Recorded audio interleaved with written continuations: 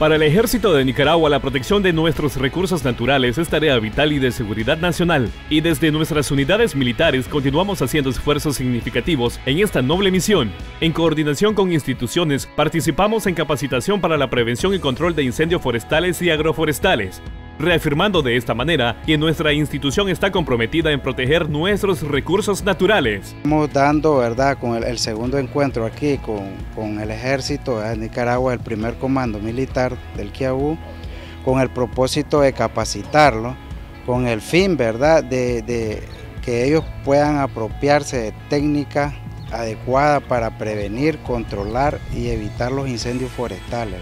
Ellos tienen el conocimiento básico para eh, trabajar en coordinación con las instituciones que tienen que ver con la prevención de los incendios y de esta manera también eh, participar y cumplir con las tareas de apoyo a la población en caso de necesidad. El ejército de Nicaragua cumple sus misiones y tareas, todo por la patria. En la defensa de la patria y la institución, firmeza y cohesión.